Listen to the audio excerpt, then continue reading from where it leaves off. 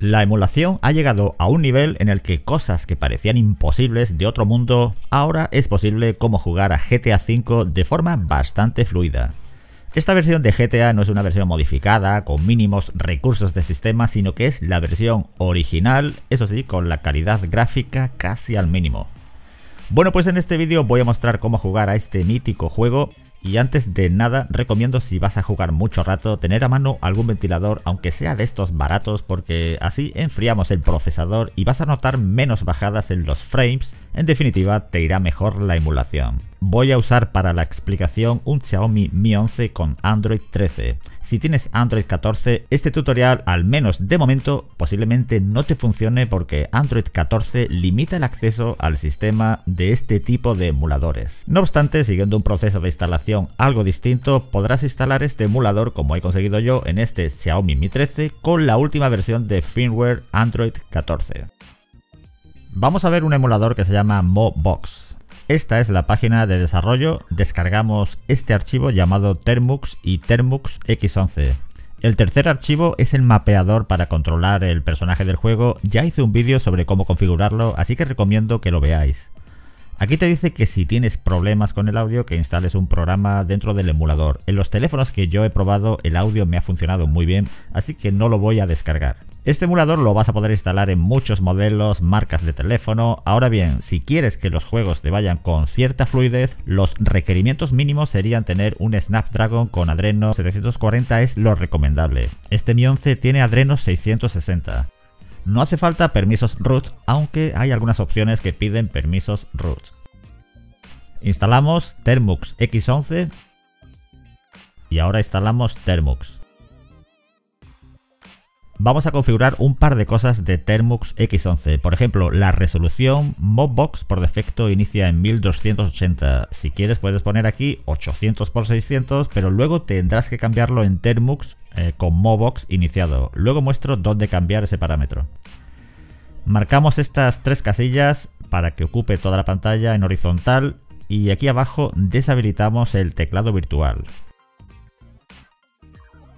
Volvemos a la página y copiamos este comando de instalación y lo pegamos en la ventana de Termux.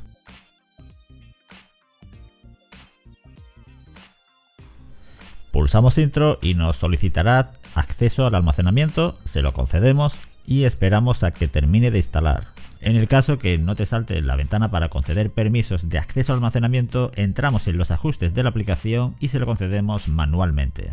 Ya está instalado el emulador, para iniciarlo tecleamos Mobox y pulsamos Intro. Este es el panel de configuración. En mi caso tuve que quitar el prefijo de WIME. El ajuste se llama WIME Prefix Settings. Y lo hice porque no podía instalar programas, me saltaba un error en la ruta de instalación y si te pasa esto, vuelve aquí y desactiva este ajuste. Aquí tenemos el ajuste de la resolución que comenté antes. Como en Termux X11 yo he puesto 1280 x 720, aquí en principio no tengo que tocar nada, pero si pusiste 800 x 600, luego tendrás que poner aquí ese valor de resolución de pantalla. Estas son las opciones root que sirven básicamente para eliminar los procesos de segundo plano que consumen memoria RAM. Tenemos algunos ajustes para cambiar las versiones de XVK y otros parámetros de emulación. Lo mejor es que probéis primero sin cambiar la configuración por defecto y luego volvéis aquí y lo cambiáis porque dependiendo del teléfono os irá mejor o peor, así que de momento lo dejo todo como está y voy a iniciar la emulación. El primer inicio tardará más porque se instalan algunos módulos como los DirectX, así que ya no tenemos que instalarlos nosotros. Ahora la consola Termux enviará a Termux X11 el escritorio de Windows. Este teclado virtual se quita y se pone simplemente pulsando atrás. Si estás probando algún juego y no te funciona bien con Windows 10, aquí puedes cambiar la versión de Windows. Aquí puedes cambiar también la versión de XVK, prueba primero con la versión por defecto y otros ajustes como el audio que por defecto viene activado. Antes de comenzar con el juego me voy a la zona Android y abro Input Bridge. Yo ya lo tengo configurado, mirad el vídeo de Input Bridge que dejaré en la descripción del vídeo. Vuelvo a la zona Windows y vemos que tengo arriba a la derecha el símbolo de la rueda dentada de los ajustes de Input Bridge para activar o desactivar los controles en pantalla. Ahora sí, abro GTA V y adelantaré un poco las imágenes. En total tarda unos 30 segundos en abrir el juego